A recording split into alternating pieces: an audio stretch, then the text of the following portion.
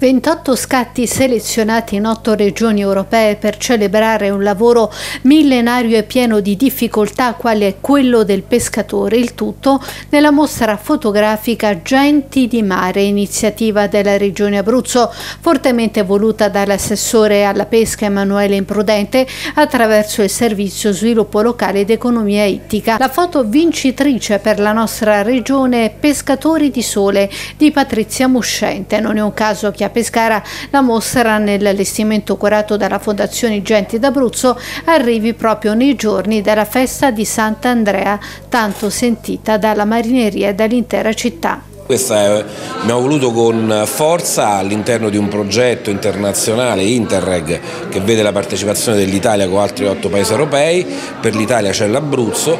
questa mostra a livello internazionale rappresenta ed è un omaggio, eh, un riconoscimento a un lavoro millenario che è quello dei pescatori, un omaggio a un lavoro complesso, articolato, difficile, è un segno di vicinanza e anche di eh, sostegno in termini eh, complessivi per un settore che in questo momento ha,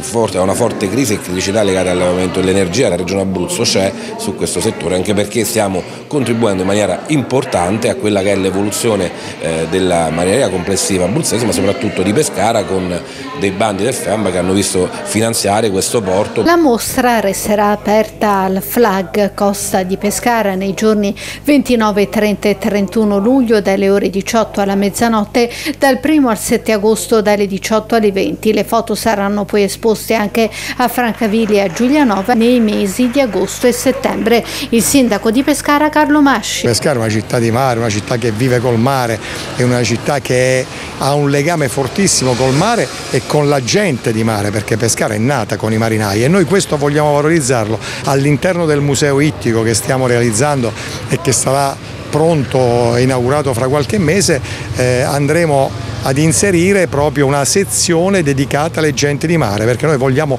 valorizzare quella che è la vita del mare perché Pescara è il mare.